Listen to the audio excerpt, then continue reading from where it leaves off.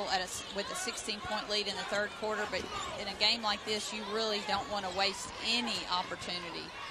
Vivians pulls up off the glass and one.